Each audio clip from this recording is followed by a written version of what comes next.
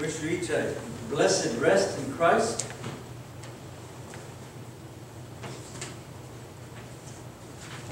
We welcome our visitors. You've uh, come at a good time. Last week would not have been a good time.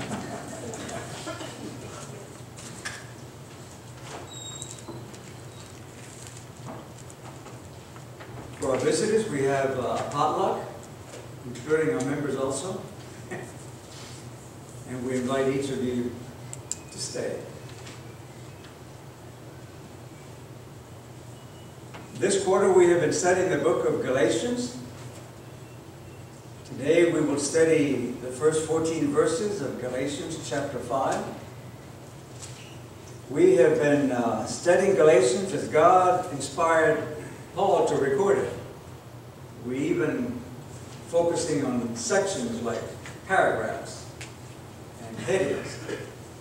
So I'd like to begin by asking, what heading do you have for Galatians chapter 5, beginning at the top? Do you have a heading for Galatians chapter 5. Christian liberty. Christian liberty. Sounds like a New King James. Any other headings? The privileges of Christian liberty. The privileges of Christian liberty. Christian liberty. Okay? Anyone else? Christ has made us free. Christ has made us free. Yes. Liberty and freedom are synonymous, aren't they? Anyone else? One version is walk in the Spirit. The word walk is uh, comes from the old English language of 1611 when the King James was translated. So it doesn't mean physically, you know, like we walk. It means a way of life. May your way of life be in the Spirit. Two weeks ago, we concluded our study of uh, Galatians chapter 4, the last uh, few verses. And we learned that it was God's original purpose to bring Israel, yes, out of Egypt, but once they crossed the Red Sea, it was His original plan to bring Israel directly to Mount Zion. And we even looked at and read uh, a very interesting song recorded in Exodus 15, 1 through 21. It's called the Song of Moses and Israel. We then went to Isaiah 35, verse 10, and Isaiah 51, verse 10 and 11, and we made the connection between the Song of Moses and Israel and God's purpose to bring them directly to Mount Zion and not to Mount Sinai. But Israel quit singing that song. And when they stopped singing the song, what happened? They forgot how God had led them. Out of Egypt, across the Red Sea, dry Red Sea. And they began murmuring, we would call it today complaining. I touched on that very briefly, Exodus 15, 22 through 25.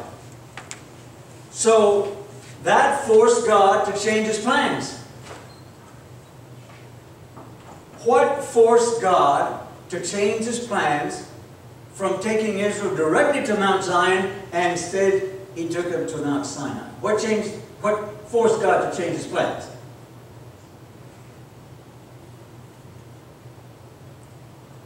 Sinful unbelief.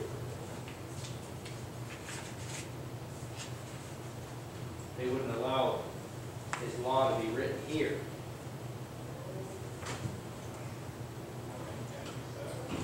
Yes. Well, they were also still accustomed to the idolatry that they had, and they had not given that up completely.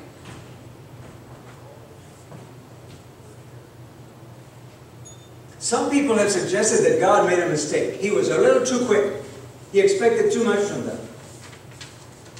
But Numbers chapter 1, verse 1 tells us that God decided to take two years, one month, and one day to bring Israel, after they crossed the Red Sea, what was he trying to do in that two years, one month, and one day?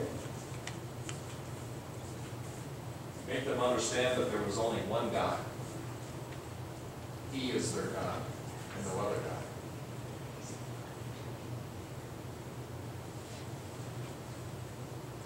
It's true that they had been enslaved in Egypt for 430 years. And I'm sure that God was aware of that. I'm not being sarcastic.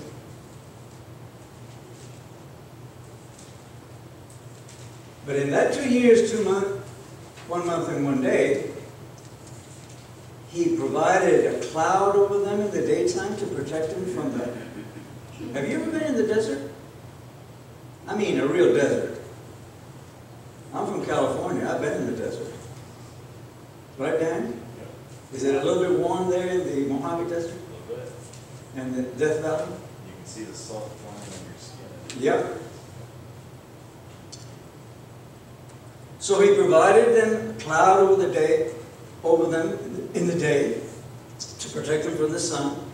Have you ever been in the desert in the nighttime? It gets cool. He provided them with what? Fire over them. Keep them warm. What else did he do? Venom. He had a catering service for them. Miracle. Fresh water, food.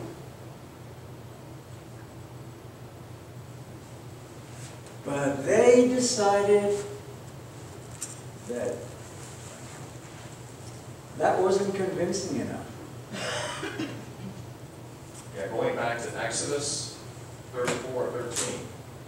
But you shall destroy your altars, break their sacred pillars, and cut down their wooden images. For you shall worship no other God but the Lord, whose name is jealous, is a jealous God. Lest you make a covenant with the inhabitants of the land, and they play the harlot with their gods, and make sacrifice to their gods. And one of them invites you, and you eat of his sacrifice.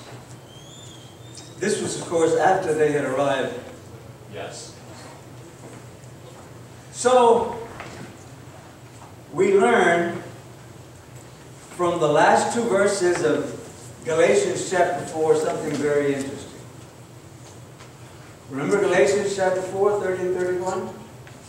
Nevertheless, what saith the scripture? Cast out the bondwoman and her son, for the son of the bondwoman will not be heir with the son of the free woman. So then, brethren, we're not children of the bondwoman, but of the free woman. So, that allegory plays itself out with these two words, bondwoman and the free woman. Who is the son of the bondwoman? Ishmael. And what does Ishmael symbolically represent? Human works. Yes, the works of the flesh. And that is what Galatians is all about.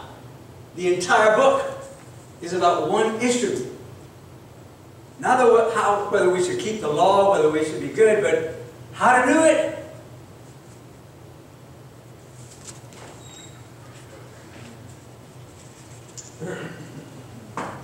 Is it your will that God's will be done in your life?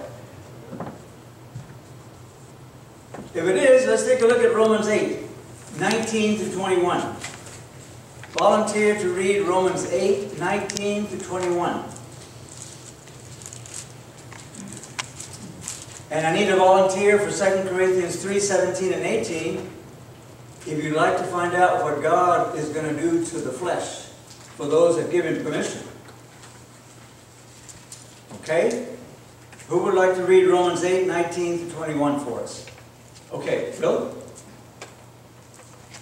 For the earnest expectation of the creation eagerly awaits for the revealing of the sons of God. For the creation was subjected to futility, not willingly, but because of him who subjected it in hope.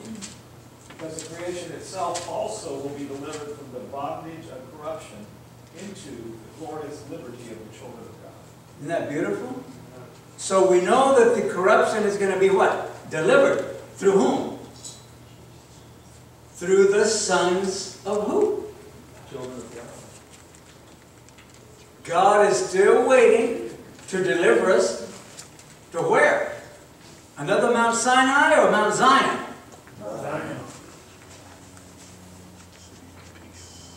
Okay, now how is God going to take care of this flesh of mine? Who has 2 Corinthians 3, 17 and 18? Which one Second Corinthians? 2 Corinthians chapter 3, verse 17 and 18.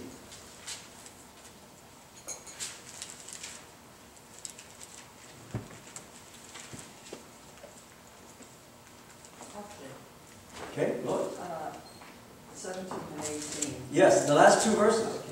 Now the Lord is spirit, and where the spirit of the Lord is, there is liberty. But we all, with unveiled face, beholding as in a mirror the glory of the Lord, are being transformed into the same image from glory to glory, just as by the Spirit of the Lord. There it is. God is very clear in identifying issues, isn't he? But he's also very clear about the solution. Because he knows that we're what? Helpless. The moment that our great grandparents, Adam and Eve, decided to become self dependent instead of God dependent, what happened to the human race? We became totally helpless. God understands that. He's looking for a people that will learn to accept that. And the day He does, He'll take us to where? Mount Zion. Lois? So are we spiritually half dead? We're flesh, but we're not spiritual. Well, where is the Holy Spirit right now? In us. It it should be within us. No, we kicked, it's no longer part of our standard equipment. We kicked it out in the Garden of Eden. Well, what is the name that Jesus uses for the Holy Spirit? The Greek word is parakletos, where we get parallel, P-A-R-A. Kletos is helper, P-A-R-A is right here, right next to us. And all you have to do is what? Oing. Invite him to take over, and what does he do? He takes over. But when we invite him, he has, the invitation has to be 100%. Do we understand that? That's the issue. That's the issue. There is no other issue. So, this biblical truth that we're discussing here guarantees victory over what? How many sins? Because it means that we are focusing on God's promises to us rather than our old covenant promises to Him. That's the issue of the book of Galatians. Eve decided in the Garden of Eden, you know what? This serpent is right. It's unfair for God to not allow me to know all that there is to know about sin. So what did she say? I need more. what God has done for us in the Garden of Eden is very nice, but it's not enough. I need more. And that's what we do. When we do not allow the Holy Spirit to take over 100%, we say, no, I need to keep a little bit me.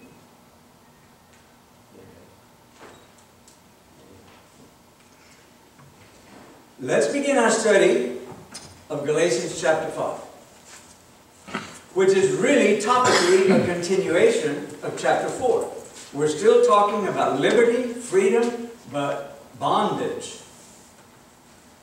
So, I would like to suggest that to begin our study of Galatians chapter 5, we go to Luke chapter 4, 18, and read Jesus' first words after he has been baptized, tempted by Satan, and now he begins his mission to redeem you and me. Luke 4:18, which is a quotation from uh, Isaiah 61, verse 1. Who would like to read for us? Okay, Mary Jane? Luke 4:18. The Spirit of the Lord is upon me, because he has anointed me to preach the gospel to the poor. He has sent me to heal the brokenhearted, to proclaim liberty to the captives, and recovery of sight to the blind, to set at liberty those who are oppressed, to proclaim the acceptable year of the Lord. To set at liberty those that are what? Captive. Do you think that there's a relationship between the miracles that Jesus performed, healing people physically, and the spiritual healing? Yes. Who would like to read verses 10 to 13 of Luke uh, chapter uh, 13? Luke 13, verses 10 to 13.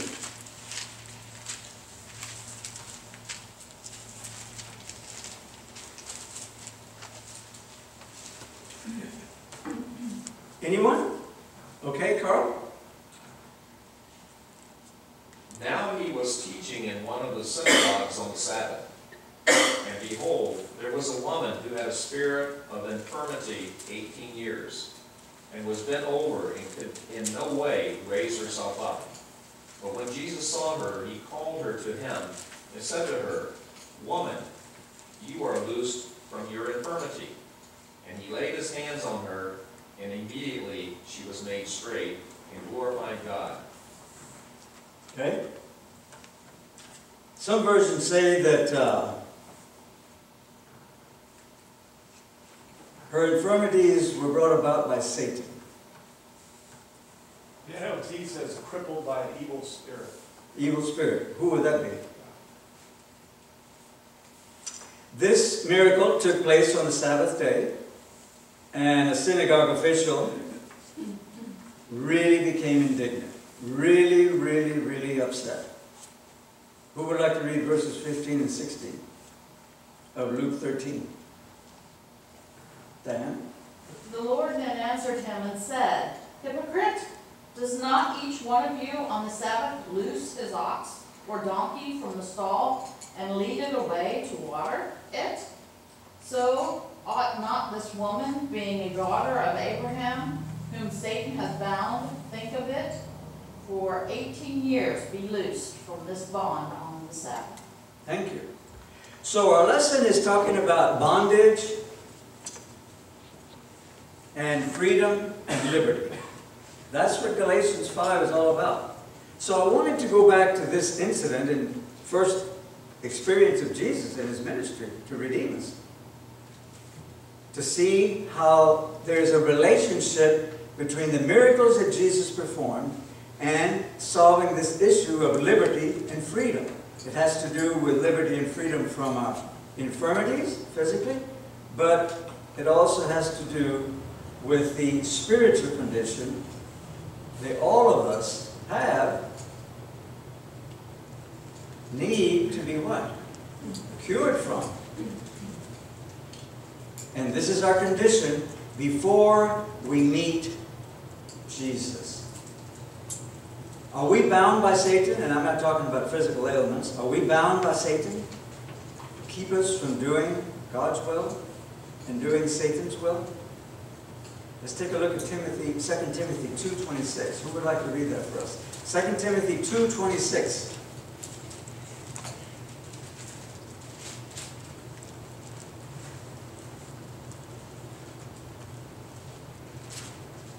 Okay, Mary Jane? and that they may come to their senses and escape the snare of the devil, having been taken captive by him to do his will. So, the issue is very, very clear. We are in bondage, and we're captives of Satan. We have a choice to become a slave to Christ, or we have a choice to become a slave to Satan. Paul is very clear about that in Romans 6.16.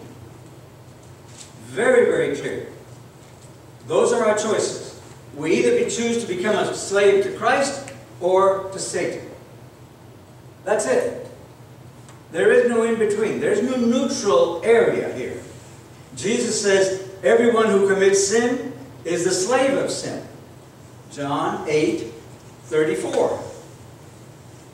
And when we speak of the word sin here, we need to be careful students of the Bible.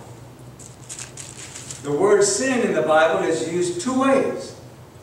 Speaking of my condition as an adjective or a noun sometimes, and also as a verb. Jesus came to take care of my condition. Because once he takes care of my condition, he automatically stops the what? The verbs. Do we understand that? George Knight calls that sin capital, all letters, and then sin little letters. The condition is sin all caps.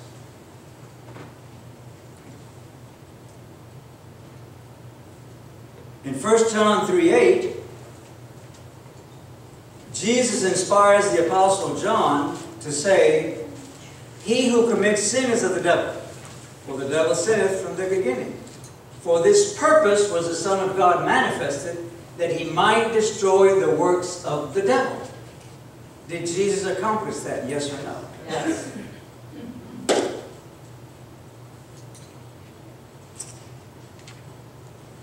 Proverbs 5.22 says that sin is the cord that Satan uses to bind us. Very, very, very, very visual.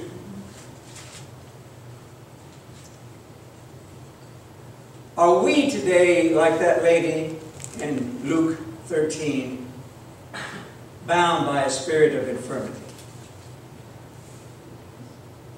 Can we free ourselves on our own? No.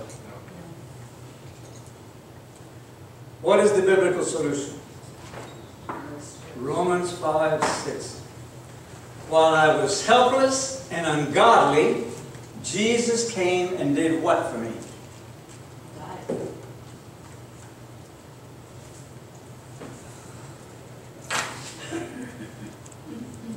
Jesus do this ethically and legally? Because that is the key question in the Christian world. Through the incarnation.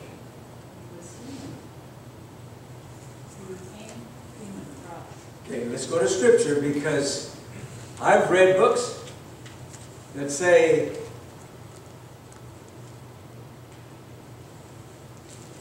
I need to be careful here.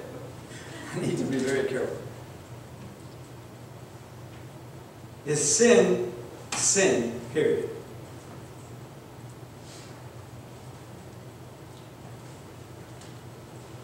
I need three volunteers. One to read Matthew 8, 16 and 17. One to read Hebrews 2. Volunteer for Matthew 8, 16 and 17. Volunteer, okay, right here, Diana. And a volunteer for Hebrews 2, 17. Okay, Lois? And a volunteer for Hebrews 4, 15 and 16. We need to look at these verses, okay, right?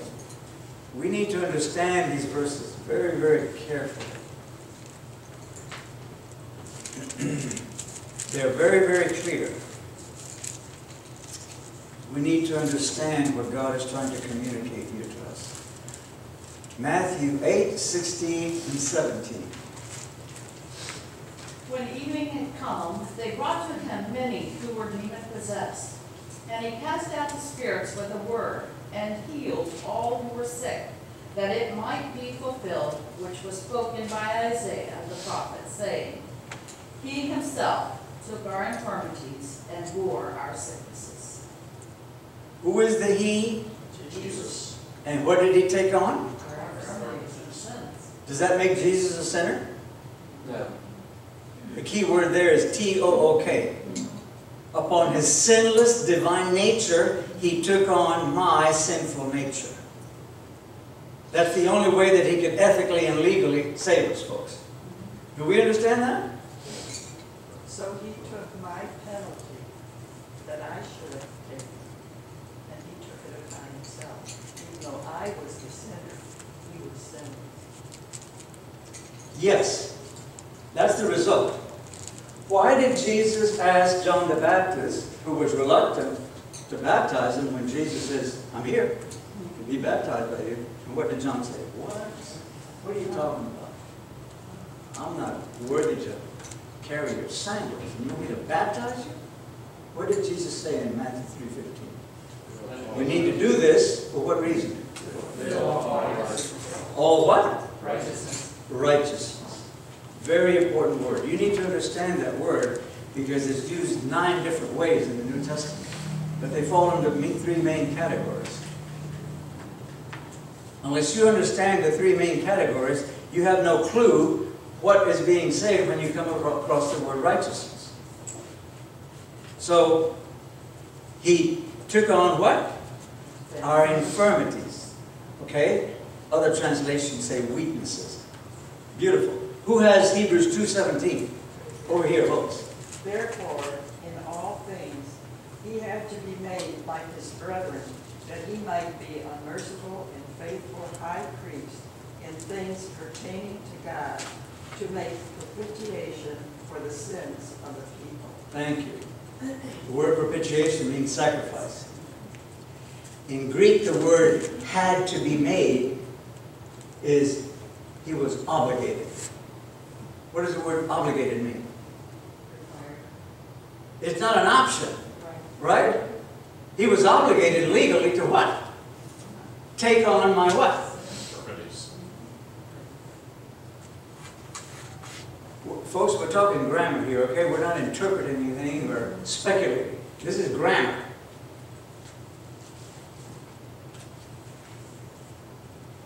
Now, this is the big one. Hebrews 4, 15 and 16. For we have not an high priest which cannot be touched with the feelings of our infirmities, but was in all points tempted like as we are, yet without sin. Let us therefore come boldly unto the throne of grace, that we may obtain mercy and find grace to help in time of need. Do you know of people that have made a bad choice in life and they're reluctant to come to Jesus because they say, what? Oh, I've messed up so bad, how do I dare even, you know, show my face in church? Do you know people like that? I've had that thought. You really messed up, Chuck. How can you dare even speak to Christ? Well, once I understood uh, verse uh, 15 that says what? We do not have a high priest that cannot identify with our what? Infirmity. Do you know what the Greek word for infirmities is? Asthenia. And it has two meanings. It's either speaking of physical infirmity or deformed in some way. Was Jesus missing an ear or an eye or an arm or a leg? No. He says it was a perfect, what, Lamb of God. The other usage for the word asthenia or infirmities in Hebrews 4.15 is moral weakness. Woo! -wee. Some people just pull back on that one and say, no way that he had what? Moral weaknesses. Well, what does the Bible say? Yes, he did. Why? Because he could not have ethically and legally saved me had he not taken on his sinless and divine nature, my sinful nature, infirmities. Again, we're talking grammar. I know that this is massaged by people, especially scholars.